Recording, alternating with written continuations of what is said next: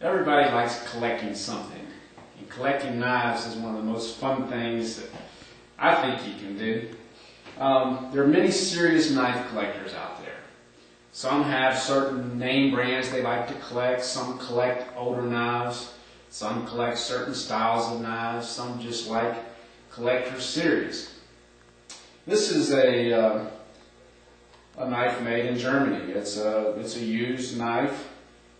To some people, this is the, the ultimate knife to collect.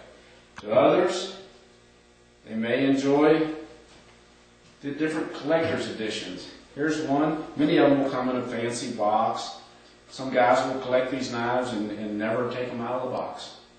Um, some will have certain name brands that they'll like to collect. Um, maybe it's it's all American made. Um, there's just all types of different types of, of, knives to collect.